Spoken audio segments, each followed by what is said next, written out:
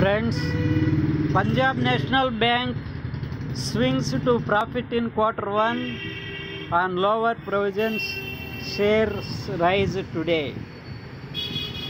State-owned Punjab National Bank on Friday swung to profit in the June quarter. The state-owned lender post, posted a standalone net profit of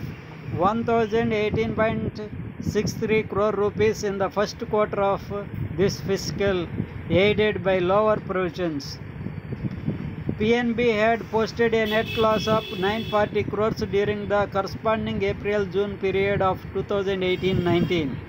In the last quarter of fiscal ended March 2019, PNB had registered a net loss of 4749.64 crores. Friends, the bank has come in profit, so that is a good news for the PNB and today the stock has risen. That is the good news for the Punjab National Bank.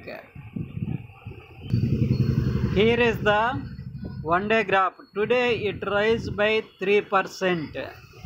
We will see technicals. Technicals since 5 years the stock is not at all performing well but today it rose 3%. That is the main interesting thing because the bank has posted good results.